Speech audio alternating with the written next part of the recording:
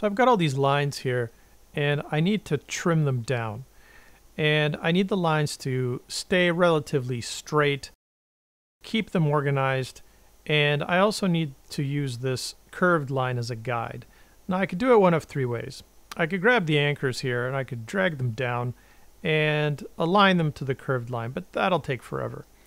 I could also use the scissor tool and trim along the curved line, select this excess, delete it. Again, that'll take forever.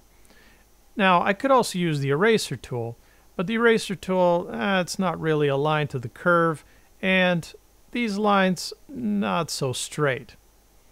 If there was a way to just select all these lines and use one tool, one swipe, and magically erase the lines, keep it organized, keep it straight, perfect, just the way I want it. It can also take these lines right here and combine them to create various shapes like this one here. Keep watching this video and I'll show you how to use the Adobe Illustrator Shape Builder tool.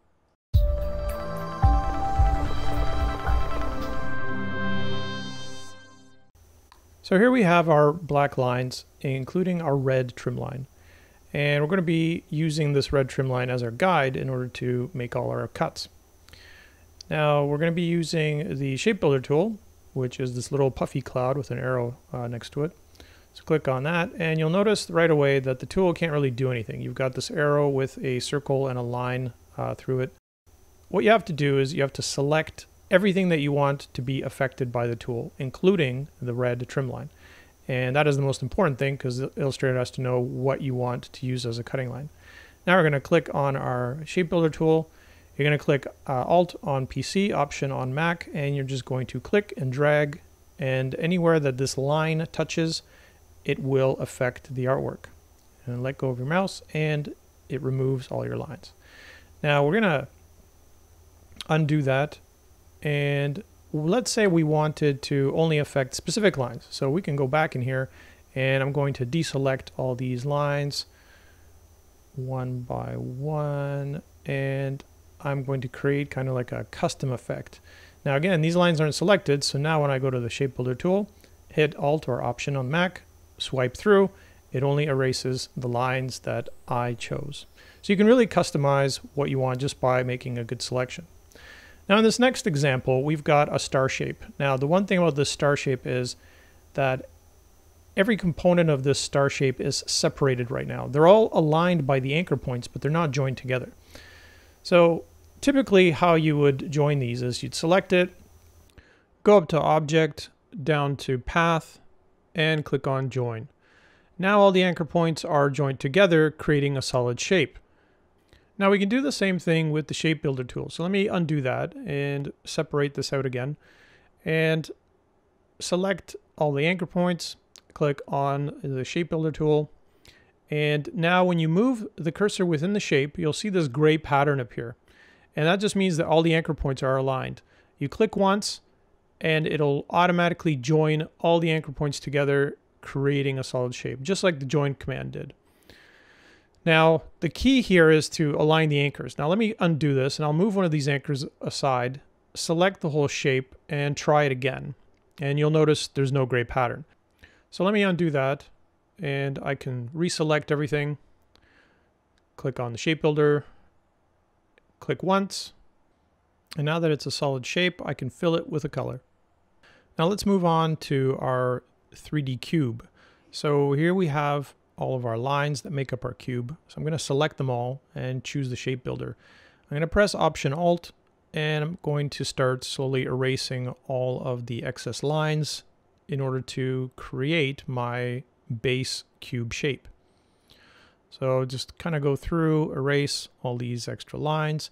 Now you may end up with little blobs like this and just click on them to delete them and then continue on erasing all these extra lines here, like so. And now we have our base cube. Now let go of Option or Alt, and we're going to start joining sections. So we're going to join these triangles to create three shapes. And this will create the top shape, and this side one here, and this side here. Now the interior, again, just three simple shapes. Swipe across, swipe across there, and there. Now we've got our base kind of cube shape. Now you can tell these are individual pieces. If you grab them, move them aside, you'll see that they're different shapes. Now you'll notice that there are little kind of blobs left over from the joining process. We're gonna have to get rid of those. So I'm gonna undo the move that I just did and I'm gonna select all my shapes down the middle and cut them. And then I'm going to select all these blobs, delete, and then paste back my selection. And I'm going to go up to edit and copy. I'm going to make a duplicate of that. I'm going to remove the stroke here and I'm going to fill this with a color. So I'm going to just fill it with a solid brown here, maybe something a little lighter. And then I'm going to choose shapes facing one side and I'm going to choose something a little bit lighter and then choose the shapes facing the other side and choose an even lighter color. Now I'm going to paste back, actually, before I do that, let's lock this down. So I'm going to select it all, go to Object, Lock, Selection. I'm going to lock it in place so that I, I don't accidentally edit it. And now I'm going to bring back my outlines.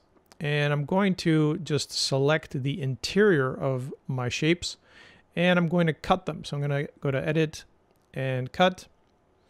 And I'm just working with the main outline here. And you'll notice there's there's extra anchor points in the middle here. So I'm going to have to select these and erase them just to keep my artwork clean. And I'm going to go down to Object Path and remove anchor points to remove them. Now I'm going to select my outline and I'm just going to thicken up the stroke to maybe a two point. And I'm going to go to Edit and paste in front, bring back my interior artwork, and now I have my completed cube with color and with an outline. I hope you enjoyed this quick rundown of the Shape Builder tool. If you'd like to see more, please hit the subscribe button so you catch all my future videos. Thanks for watching.